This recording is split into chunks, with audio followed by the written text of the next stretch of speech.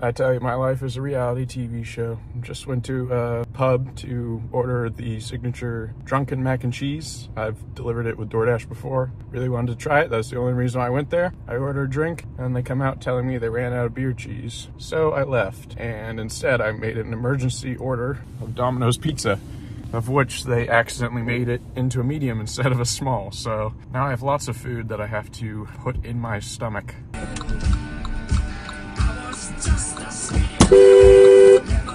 Aren't those some funky looking Oreos? They're cosmic. They're made with pop rock candy. Let's give it a go. This is Jet Ski exclusive reaction video. Roll it.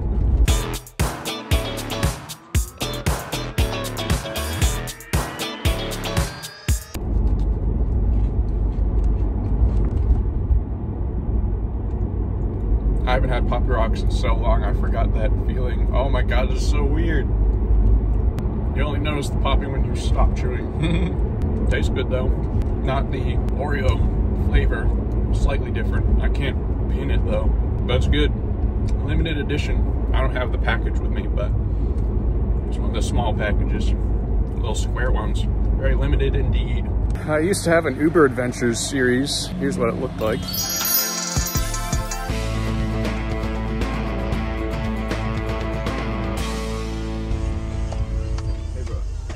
Get you to sneak around that way.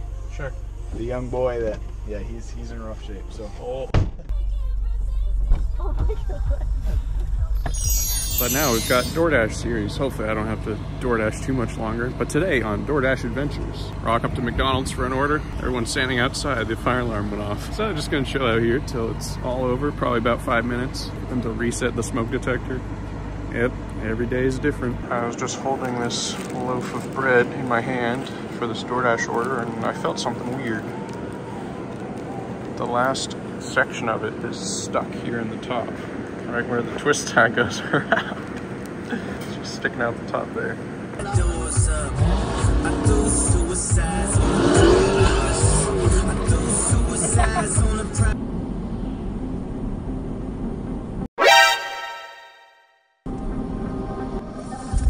Go get the guy with no lights on. Get him.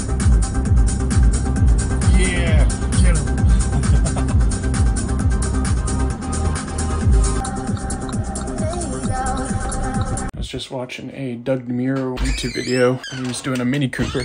Definitely seemed like the first Mini he's ever done because the quirks and features he was pointing out were standard in all the Minis. But I read through the comments and someone said there's a hidden compartment in the glove box. I'm going to see if I have it. I don't see much so far. Is that the compartment or is it air filter access? Neither. It's a fuse box. Did not know that was there. I wonder what they were talking about. Because there's nothing. There's nothing here. A common restaurant to pick up from is Cheers Bar and Grill here in Concord. I don't know if it's inspired by the one from the show or movie or whatever it was. Cheers. That was the name of it. But this is the first time where I had to wait for the food and it wasn't right there. And out of sympathy, they gave me free cannolis. Three of them. They're freaking massive. Nice. Hello, Internet. It's time for another Jet Ski exclusive unboxing video. Roll it.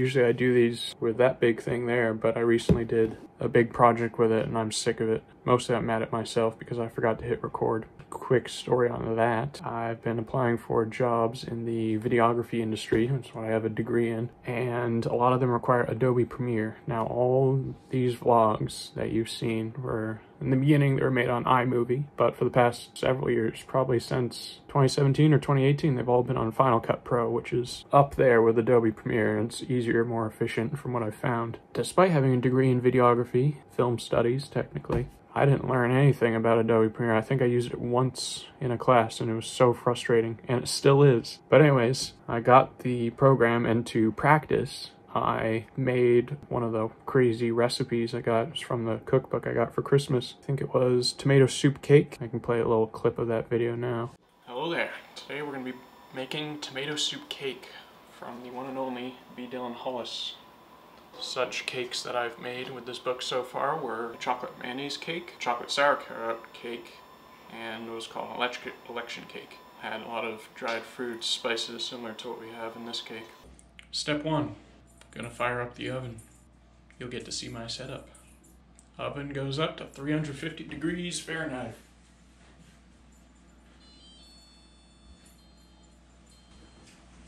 Now we begin.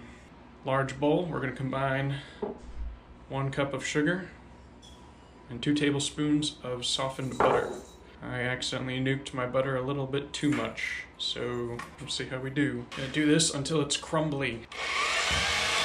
But yeah, to do some real good practice with Adobe Premiere. I mean, I'm not posting that video anywhere. It's just for my own personal use. I had the big camera, and then I had a GoPro that was like overlooking the, the cooking area, and then my iPhone on a gimbal tracking me. And for the first half of that video, that was not recording. I never pressed record, so I had to get creative with the audio. But anyways, that's why I don't feel like firing that up again. Still mad at it, even though it was my fault. This is just easier. I didn't think I'd do an unboxing video on this anyways, but here I am. So I think it was February of 2020. I came across my old iPad and I charged it and it swelled up like a balloon. And then I shot it with a crossbow. Since then, I bought an iPad 2. It was an iPad 3 that I had, but I bought an iPad 2. I put Flappy Bird on it, which was an app that got discontinued. I was hoping to sell that iPad for a lot of money, but it never happened. And then to keep all the stuff from that iPad that I had before, I had backed it up to a computer and then put on an iPad 4. And that, that iPad's been sitting in my desk for a long time. And I broke it out for uh, the live stream weather video that I did for Stringer. And it was slow and not compatible with all my other devices. So just the other day, I decided to turn in both those iPads. I wiped them clean after backing up the main one to my computer. And I went to Best Buy, tried to trade them in. They said they weren't worth anything. So I went to a Eco ATM and I was able to get five bucks for both of them because they're just so old. I think 10 years old or something, and that's an eternity in technological times. So I turned them both in and then I bought an iPad 7 this is it. Seventh generation, back in 2019 is when it was released, I believe. It's much lighter, bigger screen. Uh, it's got the fingerprint button, which I missed. With my iPhone, it only has the face scan and it doesn't work with my sunglasses because the infrared rays just bounce off. So it's been nice having a thumbprint scan again. So instead of just having it here willy-nilly, because I actually care about it, eventually I'll upgrade to the latest one. Just do that over time preferably after I get a real job. So I got a case for it. That's what's in here. Now the first ever case I had for my iPad, besides the little magnet floppy cover from Apple was a Zugu case. Z-U-G-U-E. I had a couple iPhone cases from them as well. And so when I did research on a good case for the iPad 7, this came up first. Zugu. I don't know if it's the same company or not. The logo's pretty different, I think. It says the Muse case there, and I remember, I think that was like the sub name of the case I originally had. Ooh, look at that. Fancy certificate. Making a case for it since 2010. Yeah, so it could very well have been the same company. Signed by the founder and CEO of the company. Whoa. Look at that. Why do they make it so fancy? I don't even want to open it now. Just pretend it's Christmas morning.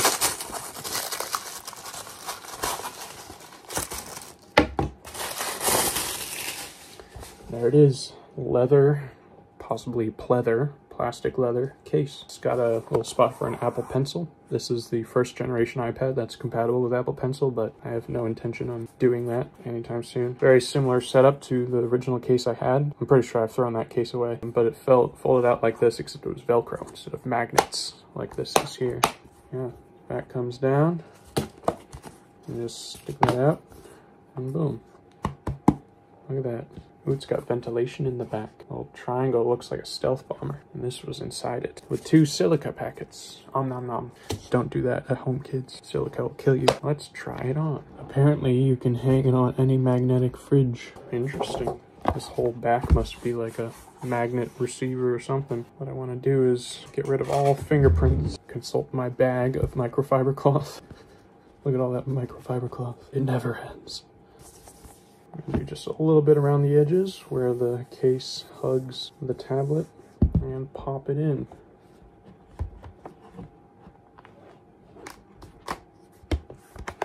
Ooh, nice crunchy sounds. Not in a bad way. Let's see if it automatically turns on when I open it.